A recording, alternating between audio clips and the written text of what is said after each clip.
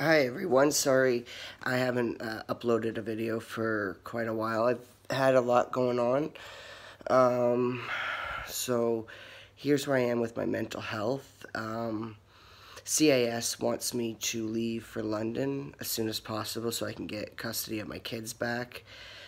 That's about five or six hours away and I've been um, hoping to try and get treatment here, but it doesn't look like there is anything for borderline personality disorder. So um, I'm probably going to leave in the next month or so for London. Um, and I'm hoping to go there and have better luck getting some outpatient or inpatient treatment for my disorder. It uh, it sucks because I'm leaving my kids and I don't want them to think I'm abandoning them. That you know I'm just going off to do my own thing. And you know everything I do is for my kids. So that's where I'm at right now. Um, I'm not allowed to have full access to my kids. I can't uh, have them alone.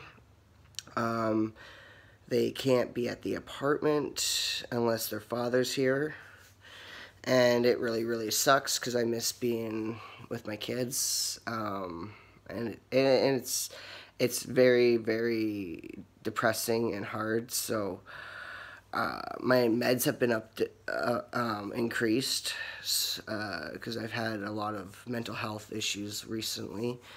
Um, you know, it's it's it sucks, but going to London I think is the best thing for me. I can. Get away, which is what I need, change of scenery, get the help I need, and then I can come back and hopefully get joint custody of my kids because I I want them to have their dad and me both in their lives, and that's where I'm at right now. Um, I have put getting bottom surgery on hold just because it's just too much right now. Um, and I don't really need it, but I'm going to work on getting a hysterectomy while I'm in London because I think it'd be faster than trying to get one up here. I had a consultation sent off over a year ago, and I haven't heard back from the gynecologist for that, so I've known people to get um, hysterectomies down that way a lot faster. So that's what I need anyways before I could have my surgery, I have to be six months post-op before I can have uh, phalloplasty. And that's what I'm leaning towards, is getting that. And I have to go to Montreal for that, so that kind of sucks. It's another reason I've been putting it off hold is, um, you know, I have to get laser done on my arm or my leg. But I can't get the laser done anyways until I meet with the consultation for the doctor because they're like, just don't get it done on the off chance for your arm. If we don't use your arm, we could use your leg. So this is another reason.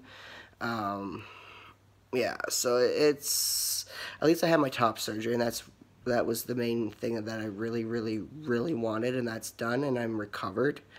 Um, the stitches have all been dissolved. The, the openings where they were is all closed off. I've been back at the gym not as hard working hard as I usually do, but you know I'm recovered.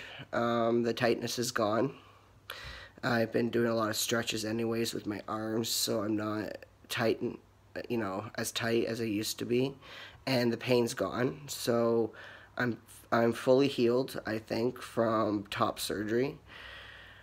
So the main thing now is just getting my mental health um, under control and once that's done I can get my life back on track because I want to come back here. I have a life. Um, I have somebody that I'm seeing that I care about. Um, I have to tell him that I have to go away for a few months um, which sucks but I, have been holding off until I know for sure when I am going because we just started dating so he doesn't really know too much about my mental health. Um, but yeah, that's that's where I'm at right now. Um, yeah, so that's why I haven't done any videos is because I've been too depressed and in a funk and haven't had any downtime where I could just do videos and I didn't have anything really to say much but um, yeah so next time you see me I could be in London